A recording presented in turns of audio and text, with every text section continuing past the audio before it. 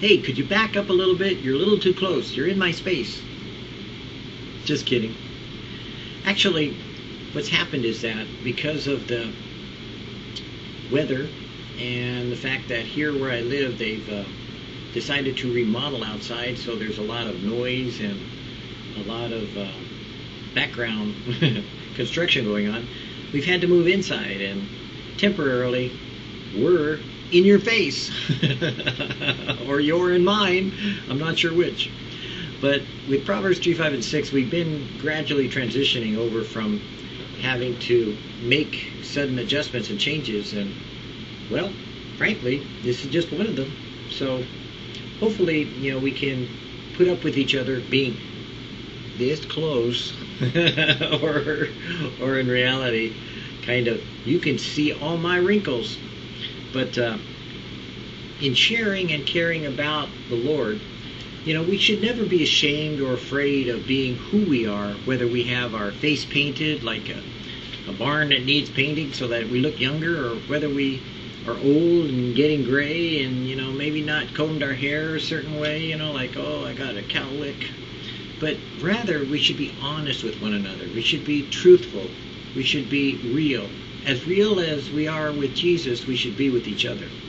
So, in respect to that, we're not afraid to share this close or this intimate or perhaps this real.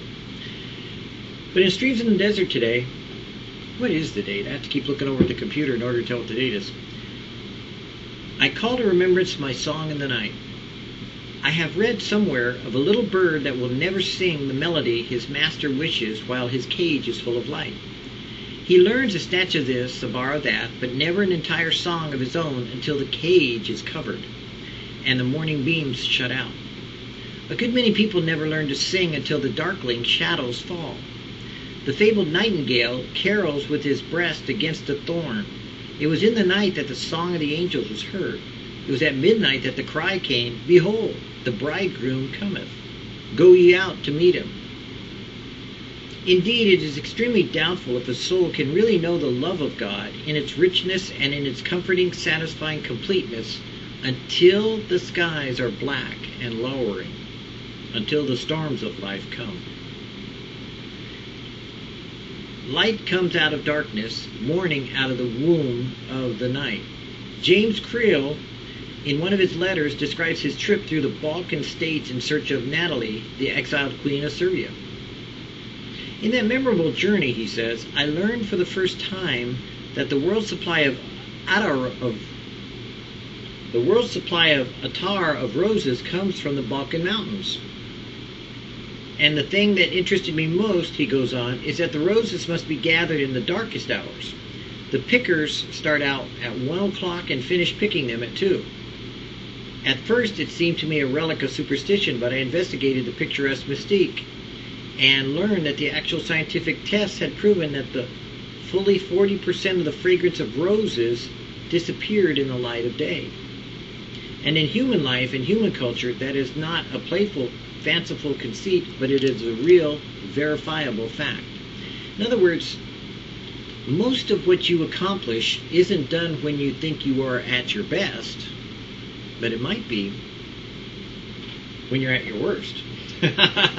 Why? Because, you see, when you're suffering, you try less and you depend on God more. When you're oh so satisfied, you're doing more with what you already know and less upon what you don't know.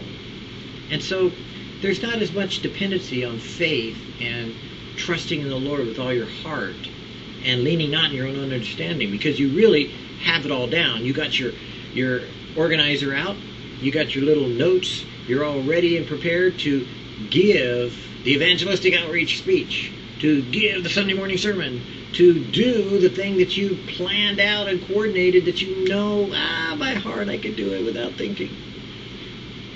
But is that what Jesus wants you to do?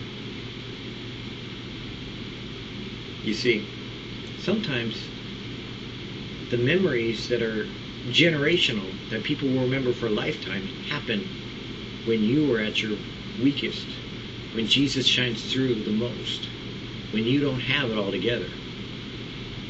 but when God has you perfectly in His hands. So don't be afraid to trust in the Lord with all your heart. Don't be afraid to not lean in your own understanding, but to in all your ways acknowledge Him and let Him direct your path. Because if you do, just like it says in Proverbs 3, 5, and 6,